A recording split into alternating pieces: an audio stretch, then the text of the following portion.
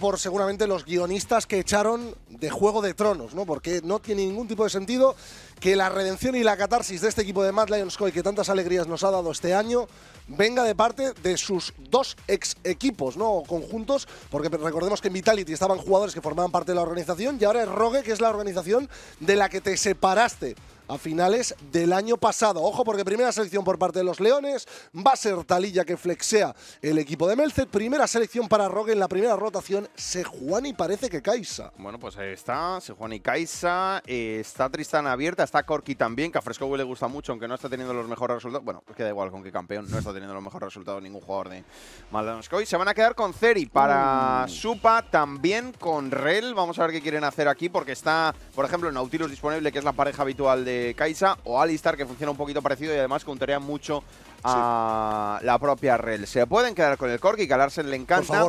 Se lo deniegan a Fresco y que lo está jugando mucho últimamente, a pesar de que los resultados son malos. Yo creo que eso indica que está muy, muy cómodo. Años, ¿no? Del Joyan Jungla con la Cira que aparecía en la jornada de ayer. Está enseñando ahora a Rogue aquí la Lux. Eh, copium absoluto. Hablabas del Nautilus, pareja de baile habitual de la Kaisa en la zona inferior del mapa. Y va a ser para Zoelis en este caso. Kaisa Nautilus Botlane clásica para Rogue, una botlane que además, pues la Kaisa sabemos que es sumamente bully, sobre todo si se te pone por delante. Además, si le das TC de fijación, es muchísimo más efectiva. Necesitaba herramientas también para tener más combo de cazadas el equipo de Rogue, para ayudar también la prisión glacial de la Sejuani. Ahora tienes gancho de Nautilus, tienes la propia definitiva de la Kaisa para saltarle la cabeza a alguien. Y cuando tienes tanto dash, tanto gancho, etcétera, la Poppy era una opción quizá interesante para el equipo de Madlenskoy que la enseñan. Va a ser finalmente Renekton para Mirwin el cocodrilo en la calle superior. Yo creo que el Renekton lo tenías que picar sí o sí, porque lo jugó Finn ayer y tiene muy buena sinergia con, con la Sejuani. Y Finn destrozó en fase de línea, si os acordáis todos,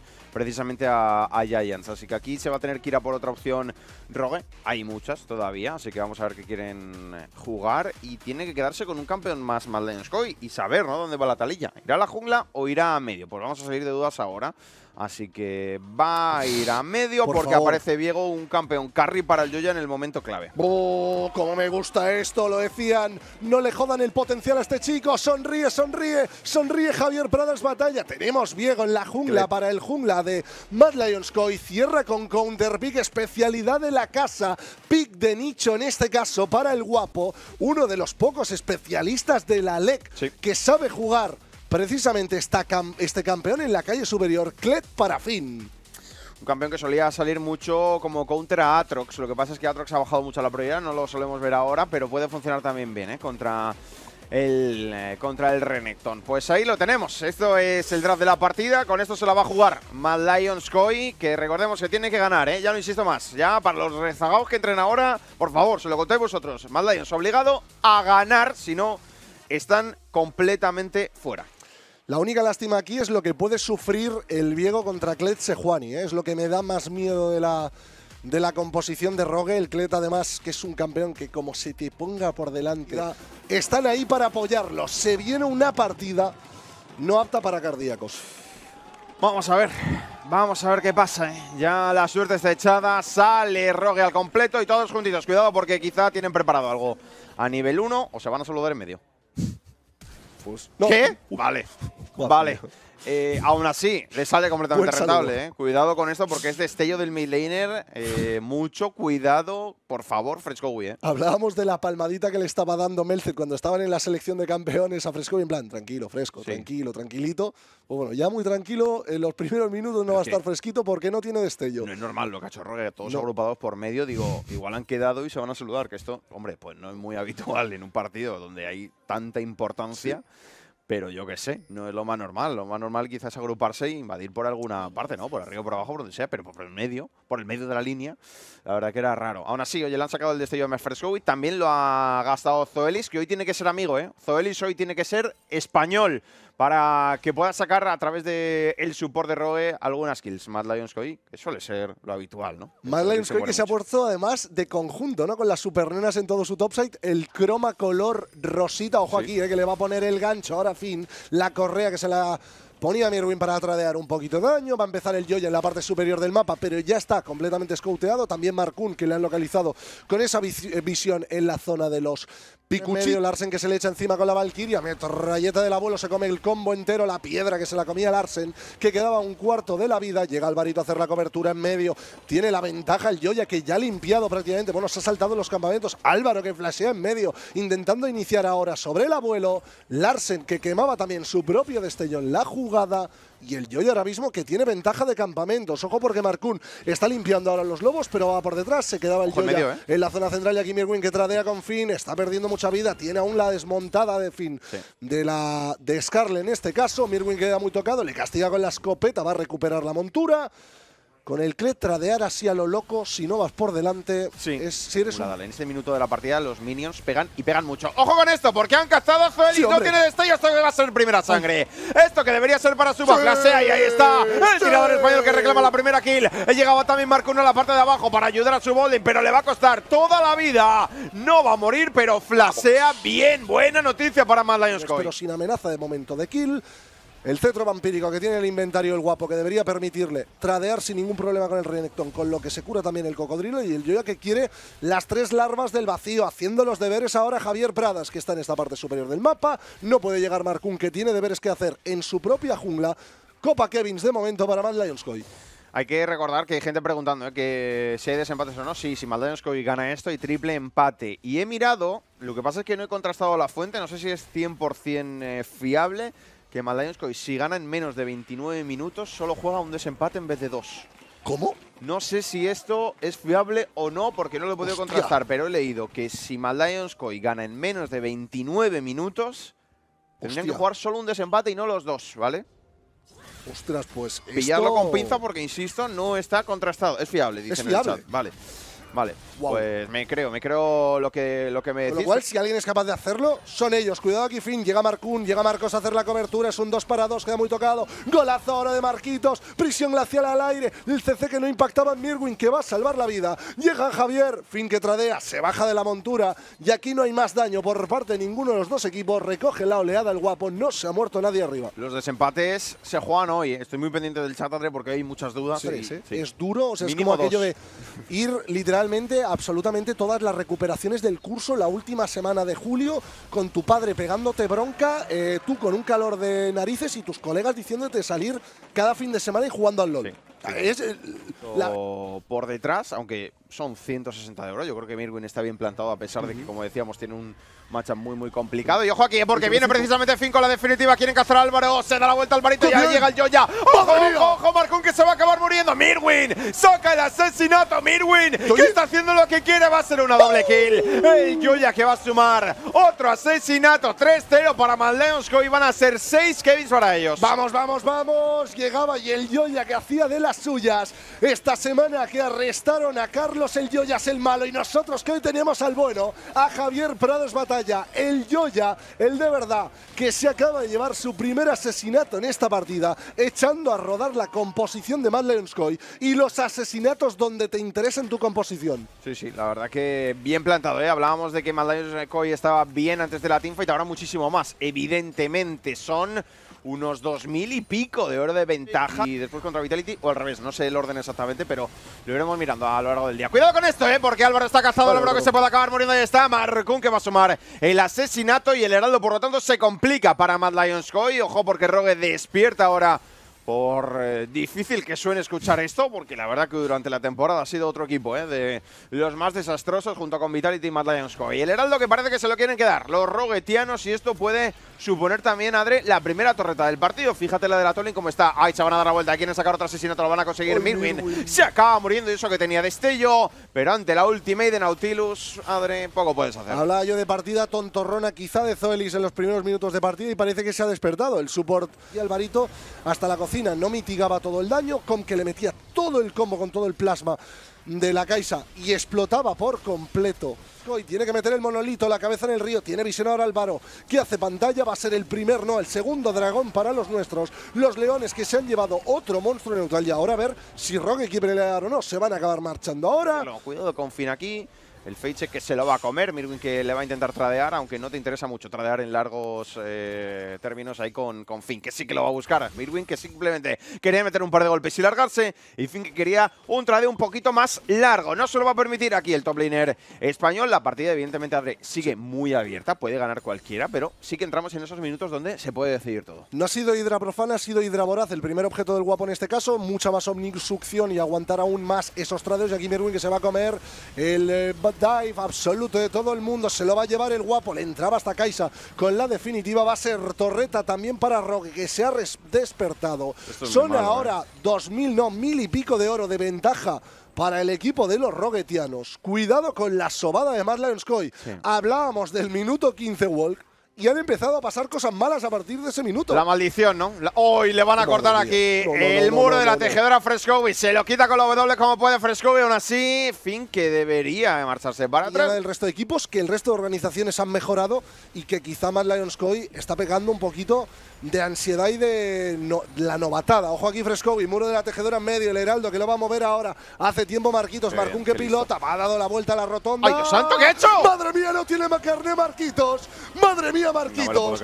¡Madre mía, el lío tremendo! Cuidado, Mirwin, que se ha equivocado, le cazaban con todo, pero ese Heraldo es una troleada absoluta. Marquitos está completamente loco. ya como te gana esta gente, tío. O sea, no me jodas lo que estamos viendo. ¿Esto qué, esto qué, esto qué es, tío? ¿Esto qué es, tío?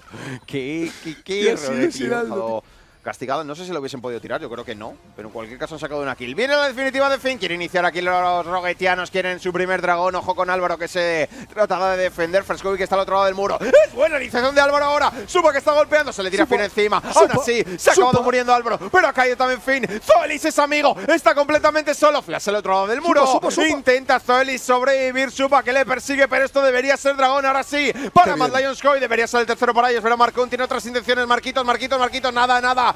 Cierra la puerta Mirwin, llega el muro de la tejedora también, se lleva una paliza, tiene que volver al dragón y ahí lo admite al Joya. es el tercero para Madlanskoya, tan solo uno del alma de montaña. Zolis que falla el ancla y cuidado aquí Frescowi. Tiene flash, debería estar bien. Marquitos que falla absolutamente todo. Marquitos que es de Jerez, Adre. Marquitos que es español también. Y la torreta la va a defender Madlanskoy. Marquitos es colega, Marcún que se equivoca en absolutamente todo. La oleada que no es suficiente no puede hacer presión. Rogue no se va a llevar la estructura y el punto de alma al daño que ya está hecho para los nuestros. Una cosa digna de mención, pero es que las definitivas falladas también están marcando el devenir de las peleas. Siguen siendo 1700 de oro, otro gancho bueno de Zoelis, que este no falla, este quiere llevarse a Álvaro y es como el que reclama el asesinato, instinto asesino ahora, como que quiere un poquito más, le tenía rabia a Supa, se lo quería llevar por delante, pero consigue Daseando tanto él como el Yoya, librarse del daño, se muere el support de Maleroskoy.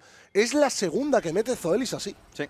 El mismo que Zoelis hoy con el ancla parece que está bastante bien. ¿eh? Empiezan el Nasor al minuto 25, los chicos de Rogue, vienen los teleports, acude a la cita todo el mundo, a sección de Álvaro que está intentando resucitar el Nasor a 40% de la vida. Ojo aquí, vamos a ver, se da la vuelta a Zoelis, otro ancla bueno encima de Mirwin. Y mientras tanto, Finn saltando encima de Supa, lo cenan completamente, vuelve al Nasor. El equipo de los Roguetianos y el Yoya es el único que se queda por la zona, tratando de robarlo, pero es que va a ser completamente imposible. Quiere Madlanskoy la torreta de medio y tener después algo de ventaja para el dragón, pero todavía queda un minuto 40 segundos. En un minuto 40 segundos con el, eh, con el Nashor, perdón, enfrente, yo creo que las oleadas las vas a tener muy complicadas. ítems que tiene ya también la Kaisa en el inventario.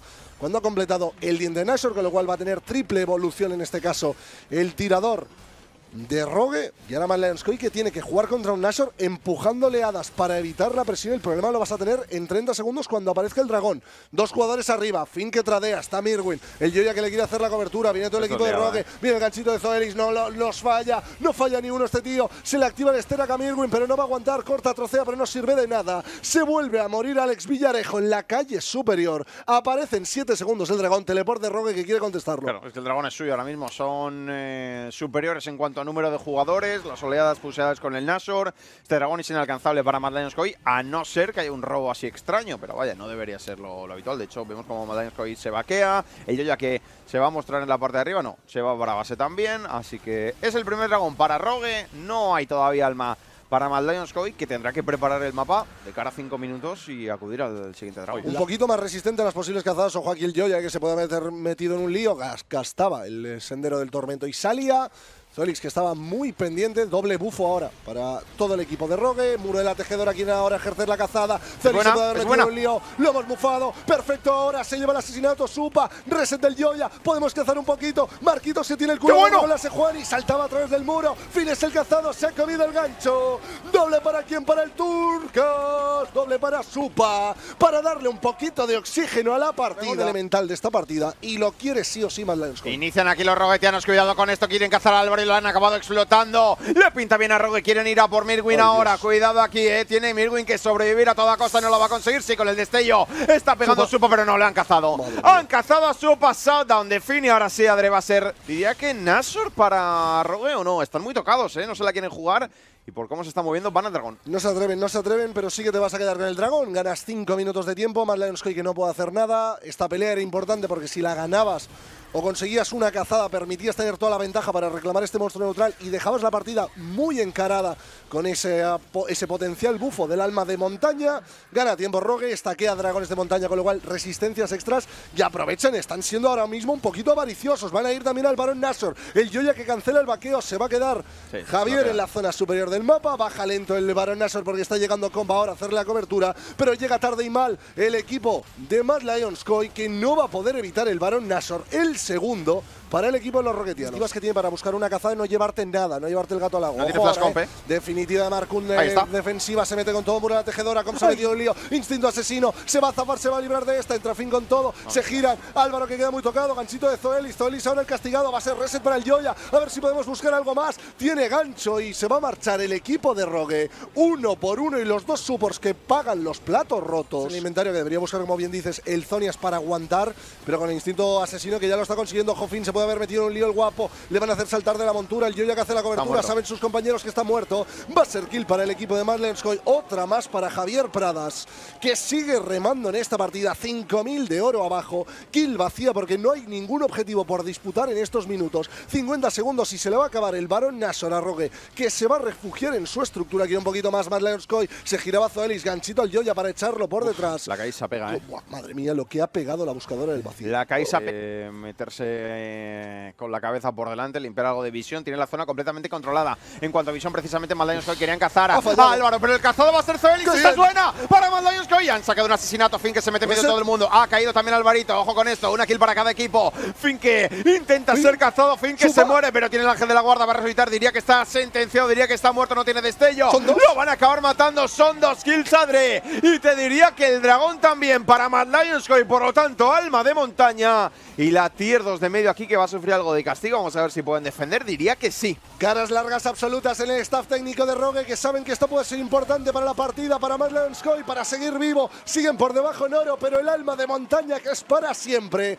El dinero que es una cosa que se va y viene, pero hay algo que no podemos explicar en el universo World, que es el amor en este caso. Y el amor que tiene Mad Lions Koi por meterse en playoffs, que lo van a intentar en esta partida. Asedian la estructura de la zona inferior del mapa. Va a ser torrete de tier 2 para ellos. Recorta el marcador de oro. Y Mirwin, que quiere también la de medio. Ha despertado el equipo de Melcet y compañía. Y son dos torretas que te llevas más el alma de montaña. Porque quiere decir que las cosas marchan. Ojo aquí, eh, la iniciación que puede ser buena. Se ha metido en un lío suba. Se camina las cargas en las profundidades. Zoelis en tierra de nadie. Entra con todo Alvarito. El cómo que puede Es ser buena, bueno. buena. Se ha metido Mirwin hasta la cocina. Zoelis se muere. Se está, se está equivocando Rogue. Llegaba a zonear el Yoya. Ultra descarga. ¡Es buena! Marcun que se muere. Choque de rayos. Y se va a acabar muriendo Marquitos. Son dos jugadores de Rogue que se van para el pozo. Y transiciona Mad Lions Koi a la zona del Barón Nashor. La diferencia de Oro Walk que va a ser Nimia ya. Pero el doble bufo. La santísima dualidad. Alma más Barón Nashor que va a ser de Mad Lions Koi. Esto que pinta muy pero que muy bien. No quiero mufarlo. Nashor para los leones. Rogue que no quiere que le abran la base ahora. Pues va a ser eh, prisión glacial ahora para Supa. Ha gastado la herramienta. Larsen que intenta buscarle. Mirwin tanquea. Dominus activado a mitad de la vida. Las buscadoras del vacío que siguen impactando porque es Compe el que está castigando. Pero el inhibidor de medio que se le ha caído en los morros al equipo de Rogue. Ahí teleporta a la calle superior. Viene Mirwin a empujar también esa oleada. Asedia ahora el equipo de Marlenskoy. Zoelis que falla. Zoelis está que Mirwin, no está. Mirwin. Gasta la definitiva fin. Se descalvalga. Se ha quedado muy tocado ahora Clet que tiene que meterse la fuente. Llega la torreta a la calle superior wall. Y va a querer asediar esto. Mad Lionskoy está con medio efectivo menos porque Finn se va a reincorporar ahora. Va a ser torreta de inhibidor también arriba. Vamos a ver qué pasa. Aquí, ¿eh? que puede ser la última, aunque por cómo se mueve Malanskoy, no sé si quieren a acabar la partida o no. Viene el ancla por parte de Zoelis, el Yoga que recibe alguna caricia, Com que pega mucho, ya lo decíamos, cuidado con eh, la Kaisa y Malano Yoskoi que quiere ahogar poco a poco a Rogue dentro de su propia base, aprovechando los últimos segundos del Baron Nashor, hay una torre de Nexo